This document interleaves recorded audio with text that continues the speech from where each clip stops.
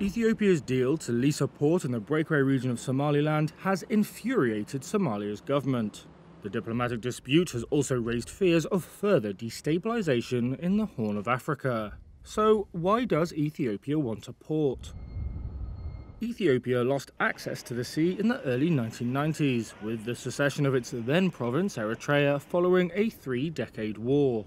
That's left the landlocked country today relying on ports in neighbouring Djibouti for 90% of its trade, with fees of more than $1.5 billion a year.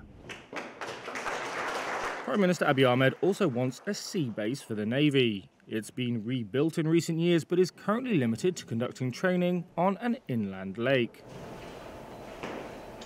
The details of the deal are as follows. Under a memorandum of understanding signed on January the 1st, Ethiopia would lease 12 miles around Somaliland's port of Berbera for 50 years.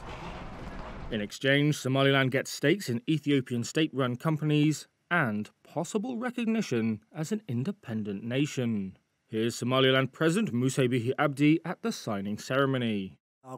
They will become the first state to recognize Somaliland after the signing of this MOU.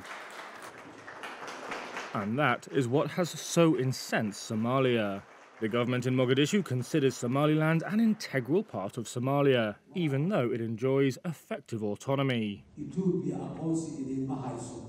But if Ethiopia becomes the first country to recognize Somaliland's independence, that could set a precedent. Somalia's president Hassan Sheikh Mohamud has signed a law that claims to nullify the deal.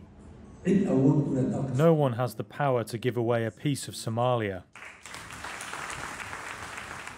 So far, no country has publicly backed the port deal.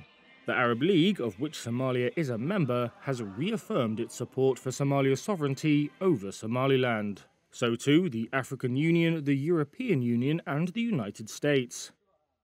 The UAE, which is a strong ally of Ethiopia and Somaliland and manages the Berbera port through state run DP World, has not commented on the deal beyond the Arab League statement.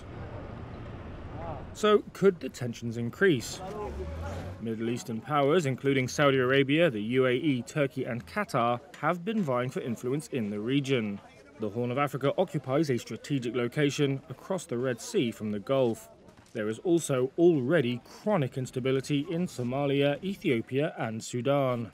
And that's got some analysts fearing that outside actors could be drawn in if the dispute escalates. This marks the end of the signing of the ceremony.